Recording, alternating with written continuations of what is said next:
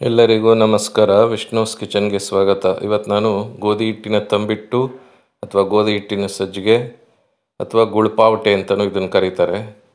ಇದನ್ನು ಸಾಧಾರಣವಾಗಿ ಈ ಶ್ರಾವಣ ಮಾಸದ ಮಂಗಳವಾರದಲ್ಲಿ ಮಂಗಳಗೌರಿ ಪೂಜೆ ಮಾಡ್ತಾರೆ. ಅವತ್ತಿನ ದಿವಸ ವಿಶೇಷವಾಗಿ ಇದನ್ನು ಮಾಡ್ತಾರೆ. ಮತ್ತು ಇದೇ ತಂಬಿಟ್ಟಿಂದ ದೀಪಗಳನ್ನು ಸಹ ಮಾಡಿ ದೇವಿಗೆ ಹಚ್ತಾರೆ ಮತ್ತು ಇದನ್ನೇ ನೈವೇದ್ಯನೂ ಮಾಡ್ತಾರೆ. ಅಂತ ಗೋಧಿ ಹಿಟ್ಟಿನ ಸಜ್ಜಿಗೆ ಇದು. ತುಂಬಾ ರುಚಿಯಾಗೂ ಇರುತ್ತೆ ತಿನ್ನೋದಕ್ಕೂ ಸಹ.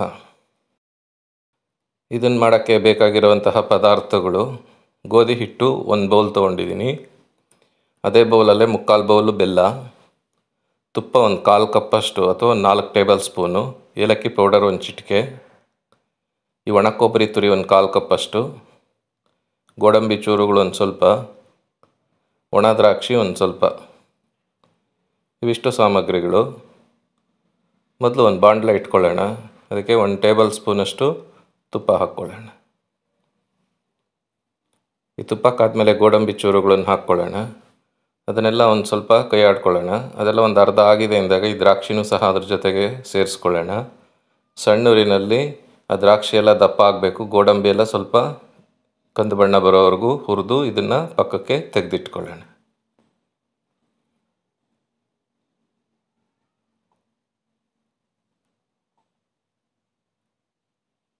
ಈಗ ಅದೇ ಬಾಣಲೆಗೆ ಉಳಿದಿರೋ ತುಪ್ಪನೂ ಹಾಕ್ಕೊಳ್ಳೋಣ. ಒಂದು ಸ್ವಲ್ಪ ತುಪ್ಪ ಉಳಿಸ್ಕೊಳ್ತೀನಿ ಕಡೆಯಲ್ಲಿ ಹಾಕ್ಕೊಳ್ಳೋದಕ್ಕೆ. ಈ ತುಪ್ಪ ಕಾದ್ಮೇಲೆ ನಾವು ಇಟ್ಕೊಂಡಿದ್ದು ಗೋಧಿ ಹಿಟ್ಟನ್ನು ಇದ್ರ ಜೊತೆಗೆ ಸೇರಿಸ್ಕೊಳ್ಳೋಣ. ಇದನ್ನು ಅಷ್ಟೇ ಮಧ್ಯಮ ಊರಿನಲ್ಲಿ ಚೆನ್ನಾಗಿ ಹುರ್ಕೊಳ್ಬೇಕು, ಉರಿ ಜೋರು ಮಾಡಬಾರ್ದು, ಸೀದೋಗ್ಬಿಡತ್ತೆ. ಅದು ಒಳ್ಳೆ ಪರಿಮಳ ಬರುತ್ತೆ ಗೋಧಿ ಹಿಟ್ಟಿಂದು, ಮತ್ತು ಆ ಬಣ್ಣನೂ ಸ್ವಲ್ಪ ಚೇಂಜ್ ಆಗುತ್ತೆ. ಅಲ್ಲಿವರೆಗೂ ಹುರ್ಕೊಳ್ಬೇಕು. ಸಾಧಾರಣ ಒಂದು ಐದರಿಂದ ಆರು ನಿಮಿಷ ಬೇಕಾಗುತ್ತೆ ಇಷ್ಟು ಹಿಟ್ಟು ಹುರಿಯೋಕ್ಕೆ. ಈ ಥರ ಹುರಿದು ಇದನ್ನು ತಕ್ಷಣ ಬೇರೆ ತಟ್ಟೆಗೆ ಹಾಕಿ ಆರಕ್ಕೆ ತೆಗೆದಿಟ್ಕೊಳ್ಬೇಕು.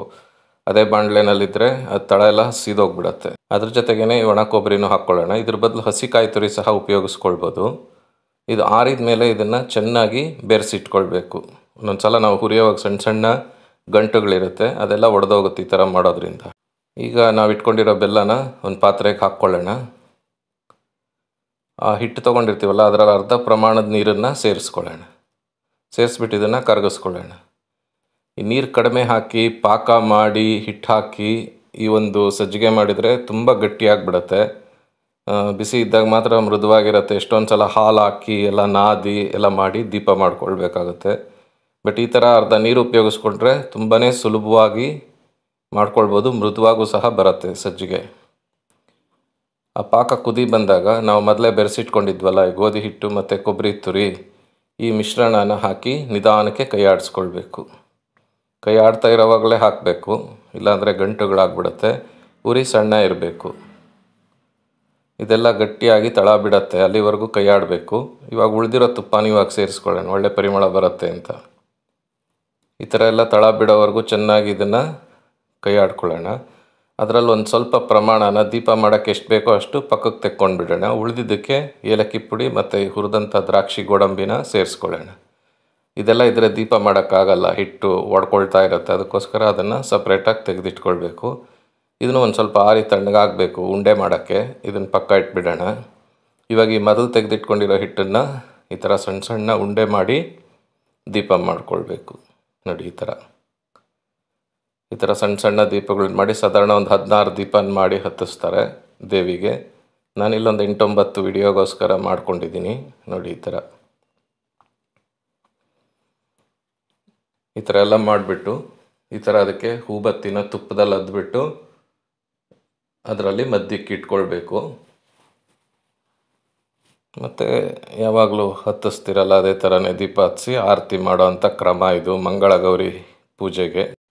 ಈಗ ಉಳಿದಿರೋ ಹಿಟ್ಟನ್ನು ನೈವೇದ್ಯಕ್ಕೆ ಉಂಡೆಗಳಾಗಿ ಮಾಡಿಟ್ಕೊಳ್ಬೇಕು. ಸ್ವಲ್ಪ ಉಗುರು ಬೆಚ್ಚಗೆ ಬಿಸಿ ಇರೋವಾಗಲೇ ಮಾಡಿದರೆ ತುಂಬ ಸುಲಭ. ಆರಿದ ಮೇಲೆ ಸ್ವಲ್ಪ ಗಟ್ಟಿ ಆಗ್ತಾ ಬರುತ್ತೆ.